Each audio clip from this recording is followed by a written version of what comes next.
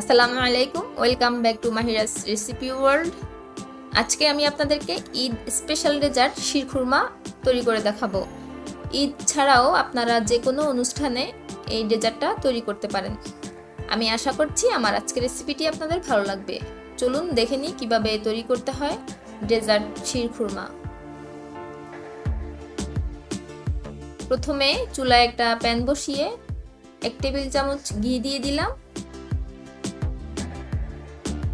ঘিটা গরম হওয়ার পর এখানে আমি কিছু পেস্তা বাদাম কাঠবাদাম আর কাজু বাদাম কুচি করে কেটে নিয়েছিলাম, সেগুলো এখন ঘি দিয়ে ভেজে নিব।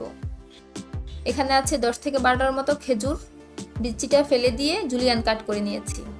এখানে আছে দশ থেকে বারোটার মতো কিশমিশ এখন সব কিছু আমি একসাথে ভেজে নিব। আমি পেস্তা বাদাম আর কাঠবাদাম এক ঘণ্টা পানিতে ভিজিয়ে রাখার পর বাদামের খোসাগুলো ফেলে দিয়ে বাদামগুলো কুচি করে নিয়েছি। প্রায় পাঁচ ছয় মিনিট চুলার লো হিটে ভাজার পর আমি সব কিছু উঠিয়ে একটা বাটিতে রেখে দিচ্ছি। আমি খেজুর আর বাদাম একসাথে ভেজে নিয়েছি। আপনারা চাইলে দুটো আলাদা আলাদা ভেজে নিতে পারেন।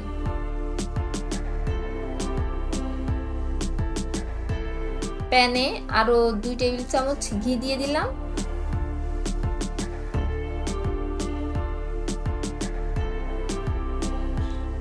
এখানে আমি চল্লিশ গ্রাম বার্মি চিলি সেমাই নিয়েছি। এখন সেমাইগুলো ঘি দিয়ে ভেজে নিব। আমি যেহেতু এক লিটার দুধ দিয়ে ডেজার্টটা বানাবো, তাই চল্লিশ গ্রাম সেমাই নিয়েছি। আপনারা আপনাদের চাহিদা মতো দুধ এবং সেমাইয়ের পরিমাণটা বাড়িয়ে বা কমিয়ে নিতে পারবেন।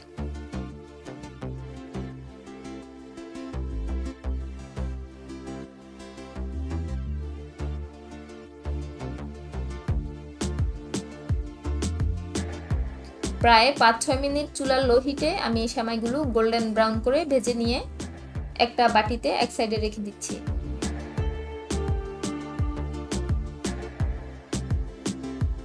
চুলায় আরেকটা প্যানে এক লিটার ফুল ক্রিম দুধ নিয়ে নিচ্ছি। এই ডেজার্টটার জন্য ফুল ক্রিম দুধটা নেওয়ার চেষ্টা করবেন। লো ফ্যাট দুধ দিয়ে শিরখুরমার ডেজার্টটা বানালে টেস্টে একটু ভিন্নতা আসতে পারে।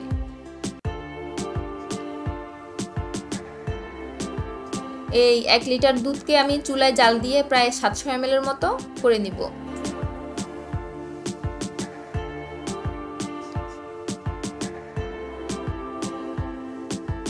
দশ থেকে পনেরো মিনিট জাল করার পর দুধটা অনেকটা ঘন হয়ে এসেছে। এখন আমি ভেজে রাখা ড্রাই ফ্রুটসগুলো দুধের মধ্যে দিয়ে দিব। একটা স্পেচুলা দিয়ে সবকিছু দুধের সাথে ভালোভাবে মিশিয়ে নিব।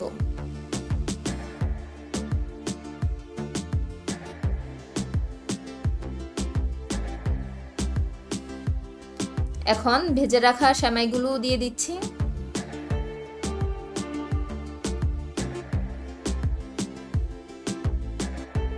সেমাইটা দিয়ে আমি আরও পাঁচ ছয় মিনিট জাল করব, এতে করে দুধ আরও ঘন হয়ে যাবে।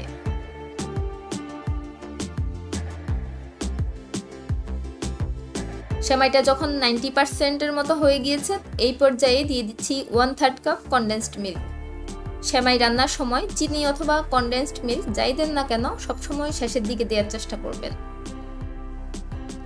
কনডেন্সড মিল্কটা দেওয়ার পর আমি আরও দুই তিন মিনিট জাল করে নিব। যখন দেখব দুধ আর সেমাই একটু ঘন হয়ে এসেছে, তখন চুলার আগুনটা বন্ধ করে দিব। এটা ঠান্ডা হওয়ার পর আরও ঘন হয়ে যাবে। আমি একটা বাটিতে সার্ভ করে নিচ্ছি।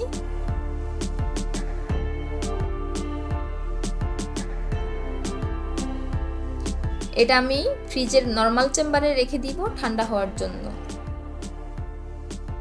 এই ডেজার্টটা ঠান্ডাও সার্ভ করা যায়, আবার গরমও সার্ভ করা যায়। তবে আমি পার্সোনালি ঠান্ডা খেতেই বেশি পছন্দ করি। উপর দিয়ে কিছু ড্রাই ফ্রুটস দিয়ে ডেকোরেট করে নিলাম।